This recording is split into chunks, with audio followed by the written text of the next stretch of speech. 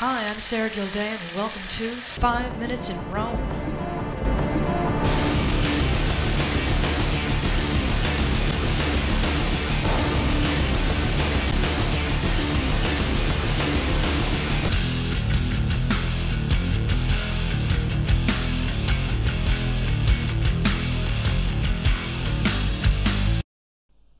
Caravaggio was born outside of Milan in 1571 to a family who worked for some very influential people, including the Sforza and Colonna family.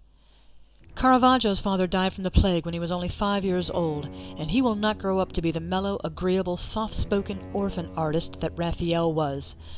Caravaggio will become commonly known as one of the bravi, street punks who hung in gangs, frequenting bars, prostitutes, and fights. By the age of 22, Caravaggio had already completed his painting studies under a student of Titian, and he came to Rome where he became the typical starving artist, painting heads as they called it, or fruit and flowers, and trying to make connections. Rome at this time was in the middle of a great renewal. Around 30 new churches were being built or restored.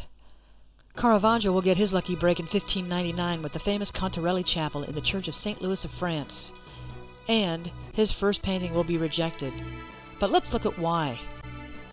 This subject is really touching on the Catholic doctrine of inspiration. What is inspiration? How much is inspiration? This is a heated topic for non-Catholics, so the last thing the Church needs is a painting of a dumbfounded Matthew having his hand pushed around by an angel. This new St. Matthew will better reflect Catholic doctrine. Matthew is the primary author, the angel is merely reminding him of some points.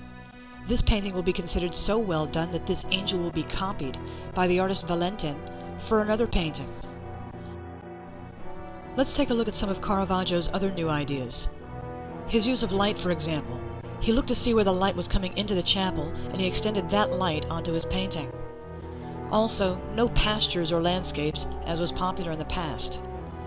He uses common people off the streets as his models. And of course, there is Caravaggio, checking you out to see if you like the painting. From this commission, Caravaggio will receive others, the Church of St. Augustine, Santa Maria del Popolo, and Chiesa Nuova. Unfortunately for him, at times he used one of his prostitute girlfriends as models for saintly figures. And with each successive commission, Caravaggio became more arrogant and more of a troublemaker.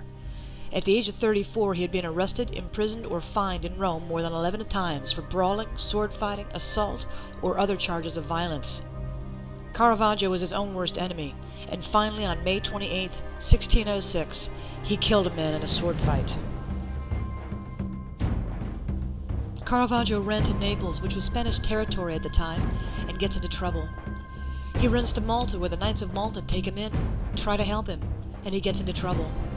He escapes to the island of Sicily, and as his life goes downhill, his paintings get darker and darker.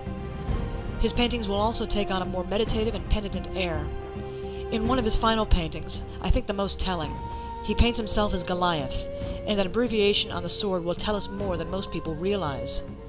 Humilitas occidit superbium. Humility kills pride. Caravaggio will get a papal dispensation. He will be invited back to Rome and forgiven of all of his crimes. But through a series of mishaps, he will die of basically typhoid or salmonella in the year 1610. He was only 39 years old. Rome is currently preparing for the 400th anniversary of the death of Caravaggio, the year 2010. If you plan on coming to Rome anytime soon, why not book a private tour of Caravaggio? I'll take you down to various streets where Caravaggio walked, show you where he actually lived, show you where he got into that famous sword fight that ended in a murder, and I'll take you to some of the more prominent churches where his paintings still hang. We will talk about painting before Caravaggio, what led up to him, and I'll show you where he actually copied Michelangelo in two different paintings. We will talk also about Caravaggio's growth and development as an artist. This is very difficult to do in just a short video. And finally, our gift to you, this souvenir booklet. This helps supplement our talks and it's our free gift to you. So if you'd like to go on a tour with me in the history of Caravaggio, walking through the streets of Rome, simply stay tuned for the website information coming up next. And thank you for watching.